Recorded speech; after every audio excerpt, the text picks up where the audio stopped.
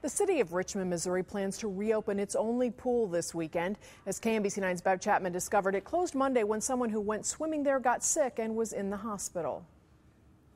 The city administrator says they have no evidence that whatever made the child sick had anything to do with the water here at the pool.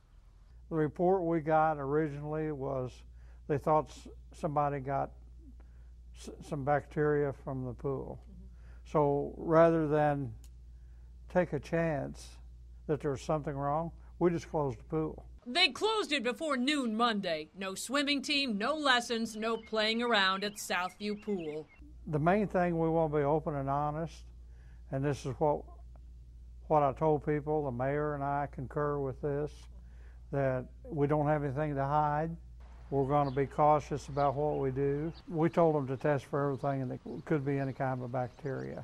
They had it tested by an independent lab, brought in the Department of Natural Resources, the county health department, and a consultant. One of the reports said the chemicals at the pool are in the ideal range. The pool was built in the mid 80s. Swafford says there was no mechanical problem. Nevertheless, small town like Richmond, rumors fly. Now he says it's time to put those rumors to rest. We've done everything that we knew to do to prove to the people that it's okay. Swafford says he's so confident that the pool is safe that he told the manager they could open it at any time. Weather permitting, they plan to do that tomorrow.